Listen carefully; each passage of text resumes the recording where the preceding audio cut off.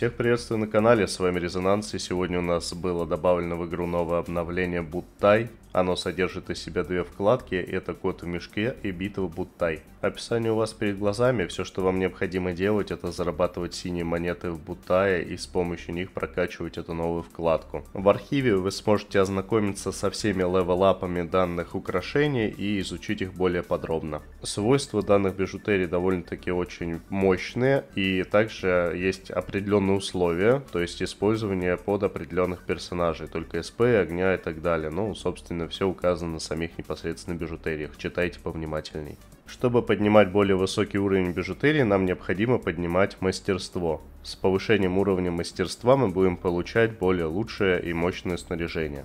Также в магазине мы можем приобрести пузырек удачи, который гарантированно дает нам красное легендарное снаряжение. Стоимость, в принципе, у вас указана на экране. Ну и теперь поговорим о самом штурмовом бутае. Здесь все довольно-таки просто. Вы нажимаете либо создать команду, либо быстро найти себе команду. На данный вот момент я не нашел себе команду, так как ее никто не сделал в бутае.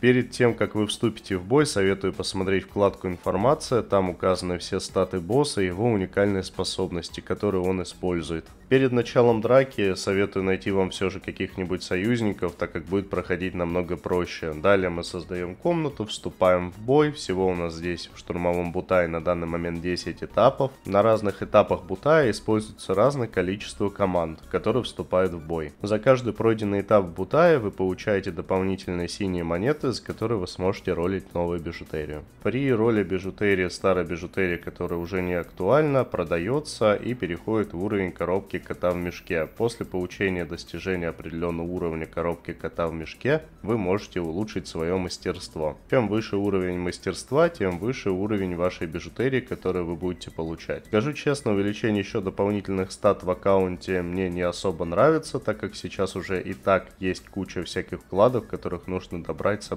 и так далее. Но и скажу также, что мне очень сильно понравилось то, что добавили новый PvE контент, в котором вам необходимо проходить его вместе с друзьями, либо с другими людьми. И возможно в будущем они воспользуются этими наработками и придумают еще более новый интересный контент. Ну а с вами был Резонанс, всем спасибо, что досмотрели это видео до конца, подписывайтесь, ставьте лайки, пока-пока.